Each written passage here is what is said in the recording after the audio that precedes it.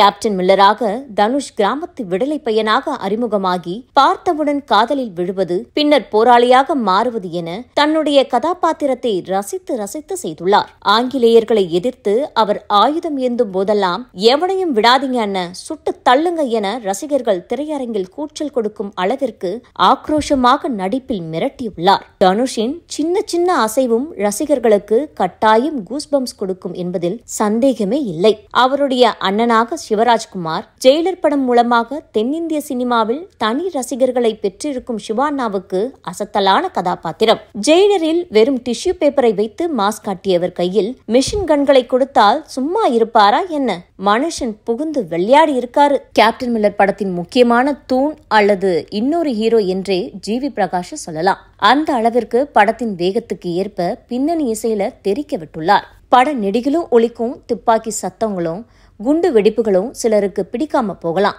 அதுவே சிலருக்கு இப்படத்தை திரையில கொண்டாட காரணமாகவும் அமையலாம்.